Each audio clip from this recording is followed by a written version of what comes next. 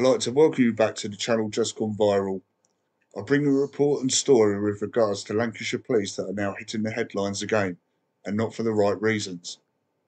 It has been decided that a police investigation will now take place and be conducted into the misconduct of a police officer of Lancashire Police Constabulary.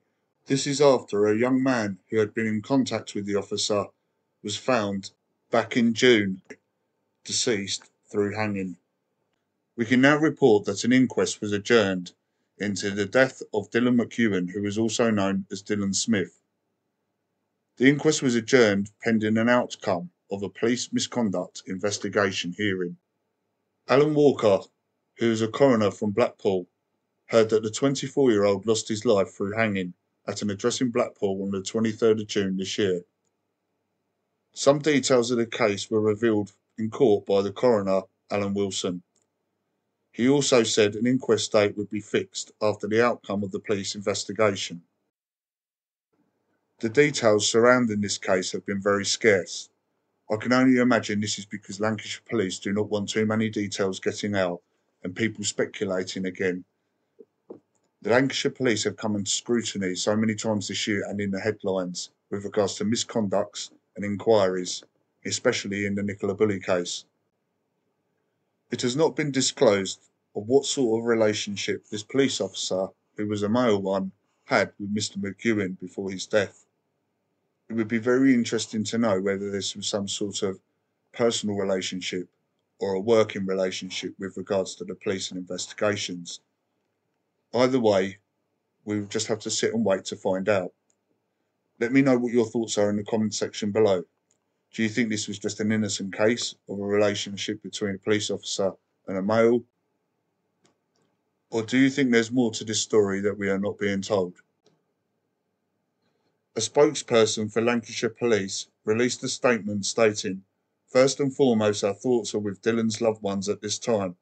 We have referred this matter to the Independent Office for Police Conduct, also known as the IOPC, and they have reviewed the case and determined it should be investigated by Lancashire Constabulary Professional Standards Department.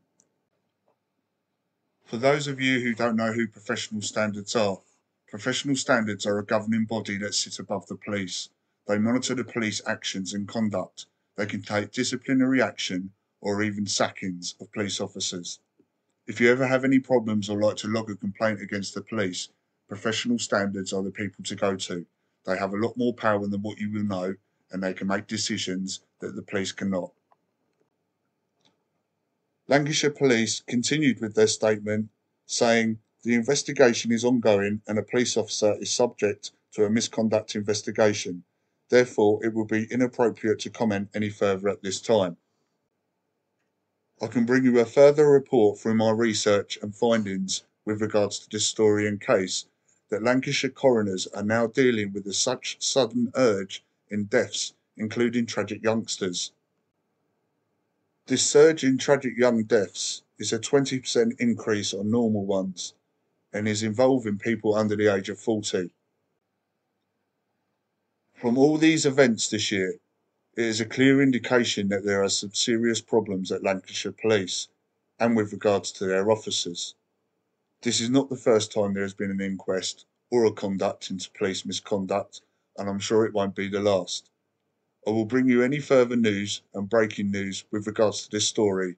Smash the like button below if you enjoyed the content, and make sure you hit the subscribe button to stay up to date with content.